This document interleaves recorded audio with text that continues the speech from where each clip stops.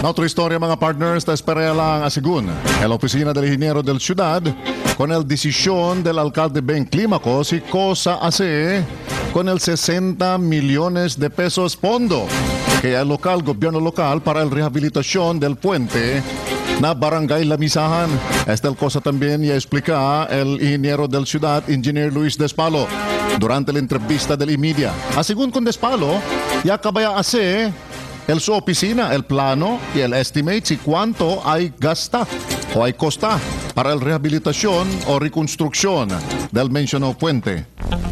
Now actually, ese proyecto it is scheduled for bidding uh, before the election ban which is on March 25. Now as of now, pati kami kakabay kami mga plano todo and the SMA study ah, now uh, I'll be asking also for the release del fondo de ese. No? Na ese, no, sabi mo, I'm just waiting as to whatever instruction kumiho dali el mayor, no? But the instruction then, prepara kami el plano and estimates for the early implementation is uh, reconstruction of the bridge at Lamisa.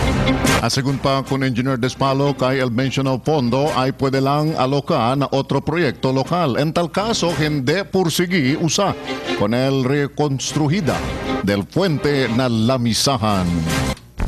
Uh, pwede man tamen as far as aquelo reversion of panses I do not know kung el DPWH tamen si pwede tamen kung man revert sila to other projects Now, city tamen appropriated amounts eh, siguro to reversion of funds tamen pwede tamen man allocate kung sa for other projects.